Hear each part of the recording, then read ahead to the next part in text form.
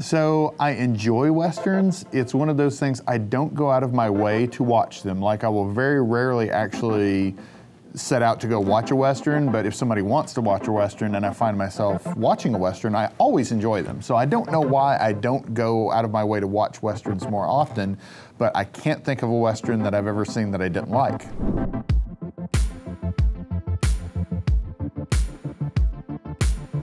All right, I have a box and I have a clue. Once home to Doc Holliday, I am called the land of volcanoes. Oh, and it's illegal to dance in a sombrero.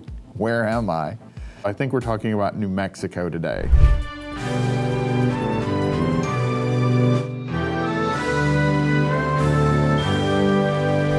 Illegal to dance in a sombrero. I don't think I've had a chance to do that yet, but I will make sure to not get arrested for sombrero dancing in New Mexico. All right, let's see what we've got. Oh, okay. Here we go. Yeah, oh, this is an incredible blue. So this is linarite. This tends to come from around central New Mexico, uh, Socorro County. And what you're looking at here is basically an oxidization of chalcopyrite and galena.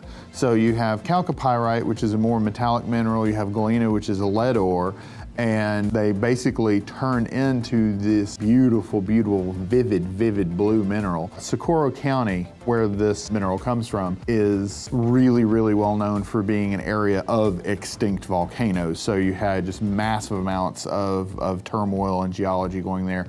So an incredibly, incredibly rich area for mining and for the production of minerals. Let's see what else we've got. All right, another box. Let's see what's in this one.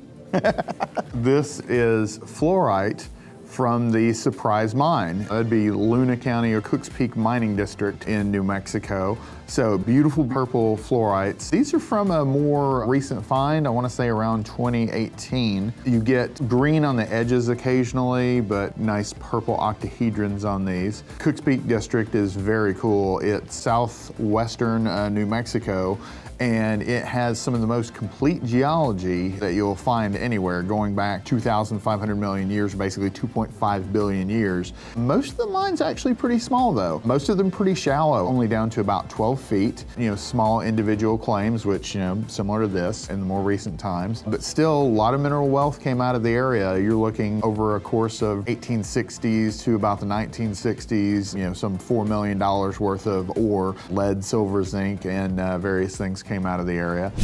Okie doke. Oh, okay.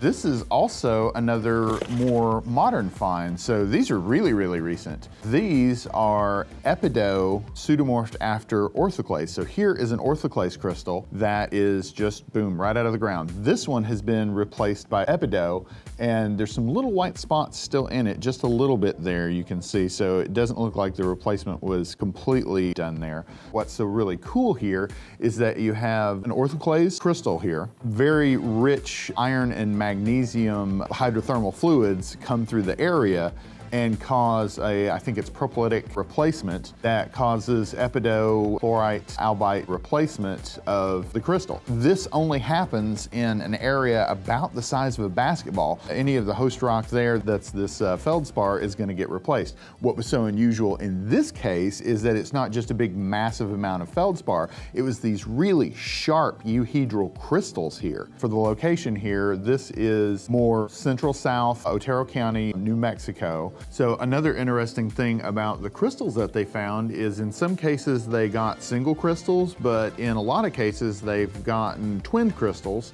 And the twinning is a Carlsbad twin. So we've talked about twins a little bit where you have crystals that are intergrown with one another. A Carlsbad twin is where the crystal has twinned on the c-axis. So the c-axis is this direction of crystal growth, and you can see that it's twinned along that elongated axis there and you see how it's opposite. So you've got this way and then this way for the way the crystals are facing. So they're 180 degrees to one another. And you can see that on this little guy here too. So not only are they sharp euhedral crystals, they've got some really cool twinning going on as well. And of course, we talk a lot about the rocks here on our channel, but again, props to the miners for going out and finding these new finds. Way to go, guys. Okay, this one's a small one. Ah, another nice blue. Very, very nice here. So here we have a small piece of halite, blue halite from uh, New Mexico. This would be from southeastern New Mexico. So we've gone from the southwest where we were at the Surprise Mine. Now we're over towards where the Carlsbad mining area was. Over in the Carlsbad mining district over there, they mine a lot of potash. Uh, in fact, three quarters of the potash that is used in the US comes out of uh, New Mexico. So uh, there's a good chance if you're using any fertilizer that you've got a little bit of New Mexico in your backyard or out in your garden somewhere. So the halite, this is sodium chloride. This is literally salt, uh, basically a rock salt, so to speak. And what's really neat about it from this area is this really nice blue color.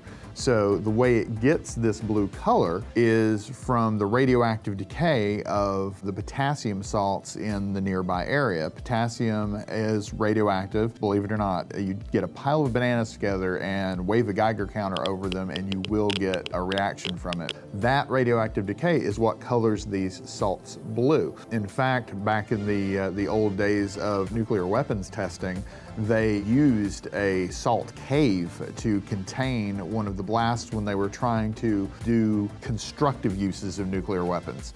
And the cave in which they contained it with the salt, they were trying to recover radioactive isotopes.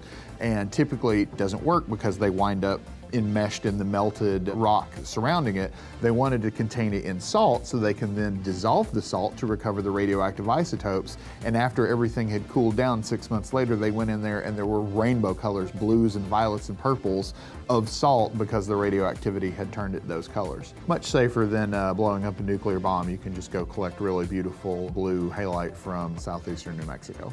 Loving these New Mexico minerals. Okay, we've got another blue one. A lot of good blue stuff coming out of New Mexico here. So here we have a very nice smithsonite also sometimes deliciously known as turkey fat or uh, zinc spar. So this is a secondary mineralization of basically zinc oxide. So in the zinc uh, oxidization zones, You've got zinc basically converting into this zinc oxide. Absolutely beautiful color. This would be the Kelly mine, and now we're in more central New Mexico here. A lot of the times this material will be a much more greenish cast, but you can get some more pure blues, like this is just a very, very slightly greenish blue, almost like an aqua blue. You can get some very, very intense, vivid blues. One thing I like about this one is there's a nice translucency to it and just a silky chatoyancy. You can see how the light absolutely loves the surface of this mineral. It just floats right across and you get almost these little cat's eyes going, uh, going to and fro there. Beautiful going across the top. Looks very similar to hemimorphite. And in fact, for a long time, they kind of thought they were the, the same thing. But you know, if you can get yourself a nice uh, specimen of smithsonite from the Kelly mine, it will definitely be a feather in your cap for your collection. Last one, let's see what we got here. Very similar color, but a little different. So, looks like we got aragonite here, which technically would be more calcite. Aragonite's not stable at surface pressure, so it converts to calcite eventually. I would imagine, I'm not 100% sure, but I would imagine the color's probably coming from zinc as well. Underneath we have azurite and malachite, so we've got basically aragonite or calcite with uh, azure malachite underneath. You can see the waviness here, so it's botryoidal formation here, and you can even see some of the bubbles where this came off of something that was underneath that was also of botryoidal form. You've got a cast underneath of the form, which is just really cool. So this would have been one of the nearby mines. This wouldn't have come out of the Kelly mine. This would have been like the Waldo mine. A lot of mines actually named after the people around. This was more of a, a graphene mine, so, you know, coal graphite types of things. But still some really lovely mineral specimens coming from here. This is yet another location, lead, silver, zinc, many, many things that came out to just build our nation. A lot of beauty and a lot of utility coming out of New Mexico, so thanks New Mexico. All right, so we're gonna take a closer look at the Smithsonite because I just want you to bask in the way the light just floats across the surface here. Such velvety goodness.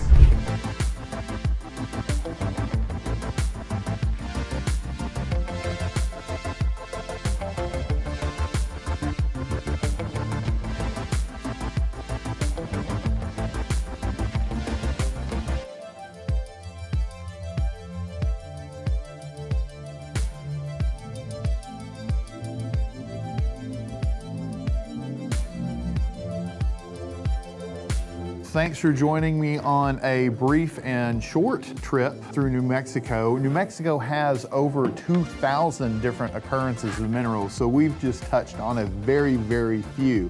If there are other occurrences or other locales that you like in New Mexico or other minerals that occur there that you want to hear about, please let us know in the comments below. And don't forget to like and subscribe and ring that bell, and we'll be bringing you more gemstones and minerals from the 50 states soon.